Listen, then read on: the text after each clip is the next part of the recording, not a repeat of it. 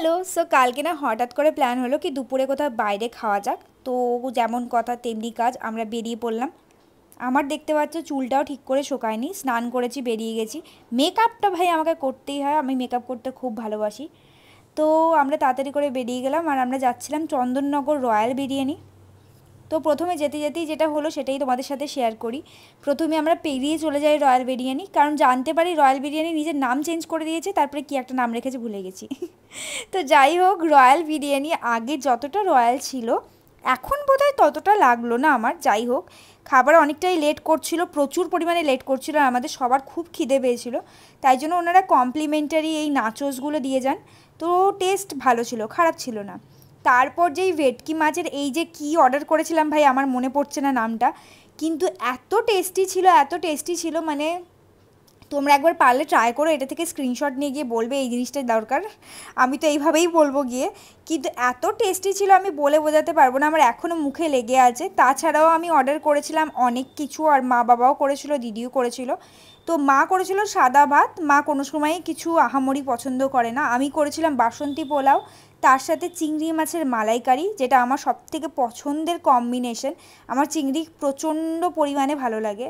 তো আমি চিংড়ি মাছটা খুব এনজয় করেই খেয়েছি, কারণ টেস্টটা অসাধারণ ছিল, সত্যিই ভালো ছিল টেস্টটা আর যে বাসন্তী পোলাওটা ছিল না, মিষ্টিটা একটু হালকা বেশি ছিল, আমার লেগেছে যদিও, কারণ আমি মিষ্টি একটু কম খাই। তো সেসব যাই হোক টেস্টটা অসাধারণ ছিল, সেটাই ম্যাটার করে। আর ওপর থেকে চিংড়ি মাছটা একদম প্রপারলি কুকড ছিল। বেশিরভাগ রেস্টুরেন্টে আমি দেখেছি হয় ওভার কুক করে ফেলে নইলে একদম কুক হয় না। তো এটা একদম ঠিক ছিল, তো সেটা আমার খুব ভালো লেগেছে।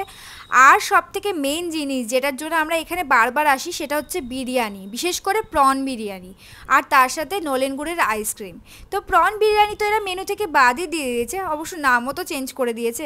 আর বিরিয়ানির টেস্ট বলবে? দিদি মাটন বিরিয়ানি অর্ডার করেছিল, কাকু মাটন বিরিয়ানি অর্ডার করেছিল, দুজনেই বলেছে একদম বিচ্ছিরি খেতে। মানে জঘন্য টেস্ট যাকে বলে। পুরো হদ্দ টক বিরিয়ানি, এত টক ভাই, আমরা খেতে পারি না। তারপরে আমার চিকেন বিরিয়ানিটার কথা আর কি বলব? চিকেনের পিসগুলো দেখো, ভেতরটা পুরো ড্রাই এত ড্রাই চিকেন হয় বিরিয়ানিতে, আমি এই প্রথম দেখলাম ভাই। আমার খাওয়া মনে জঘন্য বিরিয়ানি সেকেন্ডেই এটা পড়ে কারণ প্রথম স্থানটা সবসময় সেই চেন্নাই খাওয়া পুদিনা পাতার বিরিয়ানিটাই নেবে মনে হয়।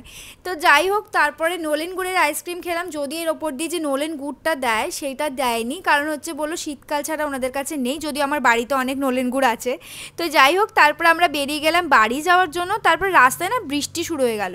তো আমরা ভাবলাম যে এত তাড়াতাড়ি হয়ে গেল, বৃষ্টি শুরু হয়ে গেল, তো কি করব? বাড়ি গিয়ে বোর হব?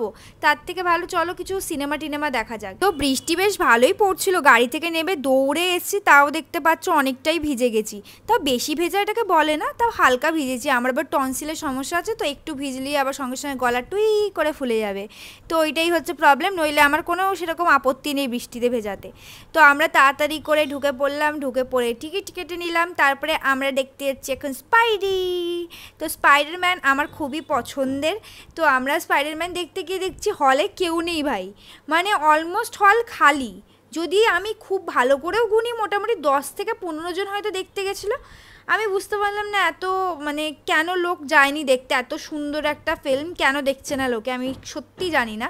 যদিও আমাদের এখানে সবাই খুব এনজয় করেছি, শুধু কাকু ঘুমিয়ে পড়ছিল আর মায়ের খুবই মানে ঠান্ডা লাগছিল কোনো সময়, খুব গরম করছিল কোনো সময়। আর মা বলছে যে, আমার আর ভালো লাগছে না, আমার এইসব থ্রি ডি গ্লাস প্লাস ভালো লাগে না ভাই, এইসব কী সব জিনিস এলো আমি জানি না। মা ওই জন্য চশমাটাও পরেনি। যাই হোক, আমাদের সিনেমা শেষ হওয়াতে আমরা বেরোলাম আর বেরিয়ে দিদি আমাকে একটা চ্যালেঞ্জ দিল, ওই যে ম্যানিকুইন্টের মতো করে দাঁড়ানোর জন্য। যেমন চ্যালেঞ্জ ওরকমই কাজ। আমিও গিয়ে এরকম করে দাঁড়িয়ে পড়লাম। লোকে আমাকে দেখে হাসছিল যদিও। তো যাই হোক, তো এইভাবেই আমাদের cinema date film date with family food film date with family শেষ হয়ে গেল। আর আমরা বাড়ির দিকে, বাড়ির উদ্দেশ্যে রওনা হয়ে গেলাম। আর এর সাথে আমার ব্লগও এখানে শেষ। সাবস্ক্রাইব করে দিও পরের জন্য।